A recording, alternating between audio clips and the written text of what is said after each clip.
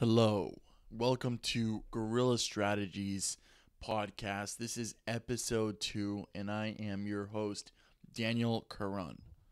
This is the podcast that will help you gain more power in your life to achieve success in whatever endeavor you choose in order to make it happen. We will be dis- discussing the mindsets, the strategies, the philosophy, and how to live that good life, that life of a gorilla, the king of the jungle.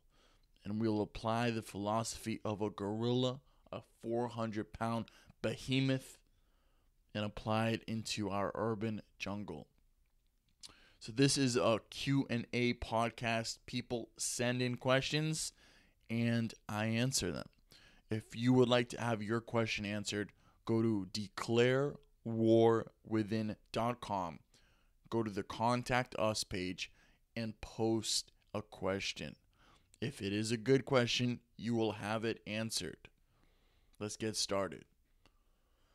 Number one, the first question was What is the number one skill that I could learn?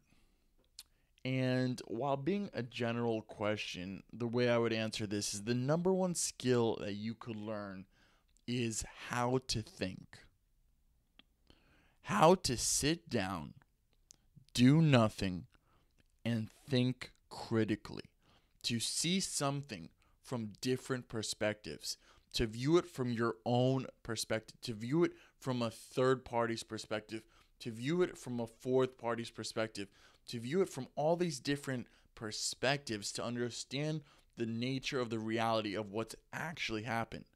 So you could take off your own personal filters and your own personal biases and to think critically about the situation at hand. It's the ability to direct your thoughts in the direction that you consciously desire. So you want to think about, let's say, how to become more powerful, how to make more money, how to have more wealth. And you sit down and you think, you mastermind, you game plan, you plan in advance, you strategize, and then you go out and make it happen. The ability to think is one of the rarest skills that you could find anywhere in the world today.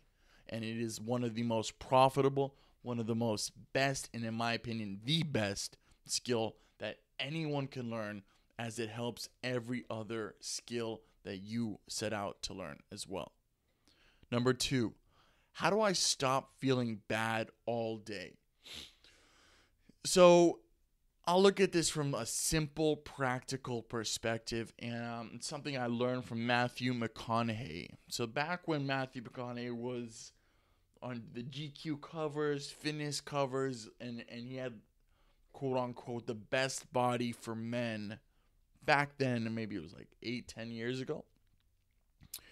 He in an interview, I think it was with GQ, they asked him like, "What's your secret?" And he's like, "You know what." I'm really, really busy. I, I'm on movie sets. I'm doing this, commercials, working on my brand. I'm always working, etc., etc. But no matter what it is, I make sure that I break a sweat every day. Breaking a sweat every day. You could go work out, lift heavy, and I recommend you do do strength training, go in the gym, do sprints, run, whatever you can. Do jumping jacks, some push ups in your room, some squats, some burpees, whatever it is, but break a sweat every day. By breaking a sweat and getting those endorphins to start moving around, you are transforming your chemistry on the inside.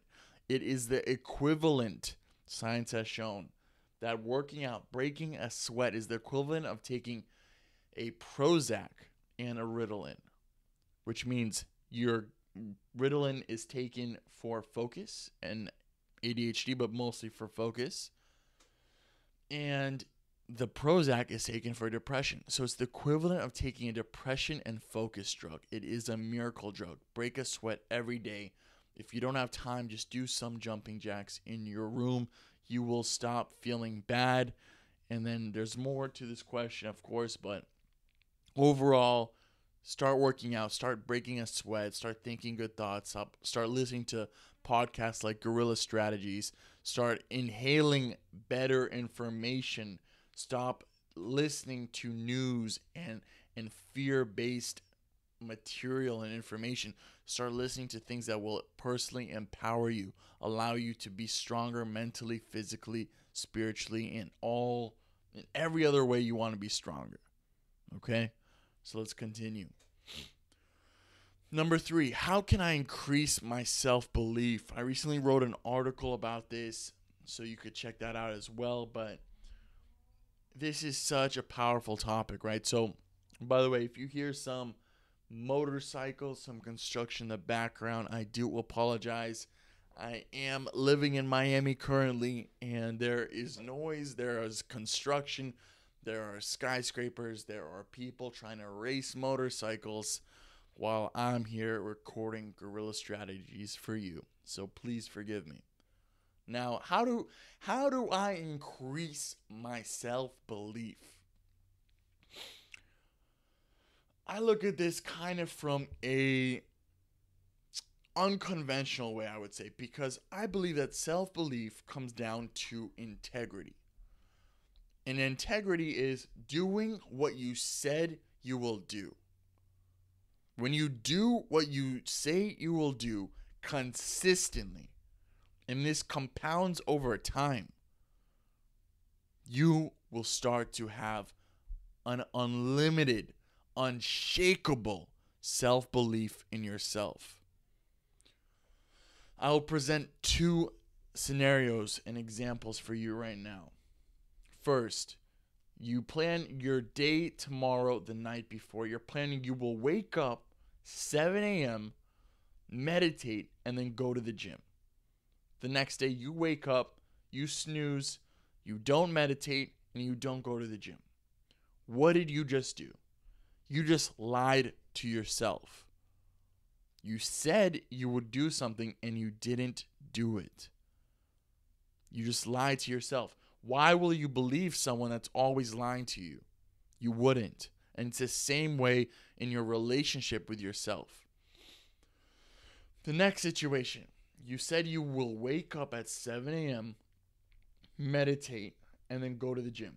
You wake up, you're like, ah, oh, my pillows feel amazing. My blanket is just as comfortable as comfortable gets. But you still, no matter how much resistance you felt, no matter how much you didn't want to do it, you woke up, you put some cold water on your face, you meditated, you worked out, you came back, and now you have a sense of feeling. What is this feeling? This feeling is a sense of accomplishment a sense of fulfillment, a sense of meaning. You said you would do something and you did it. You have increased your self belief. Your word has become iron. The more your word becomes iron, the more self belief you will have. Now, when you put out and you say that you want to have a goal, my goal is to gain 40 pounds, my goal is to lose 40 pounds, my goal is X, Y, and Z. When you are in integrity consistently every day and you do what you said you would do, goals are no longer this abstract concept in the future. Goals are now decisions. Decisions you make that you will go and make it happen because what you do, what you say, is what you do. Your word is iron. Stop lying to yourself, and you will have self belief. Number four, how can I start being an alpha male? So, there's so many ways to answer this question, right? So, what is an alpha male, et cetera, et cetera?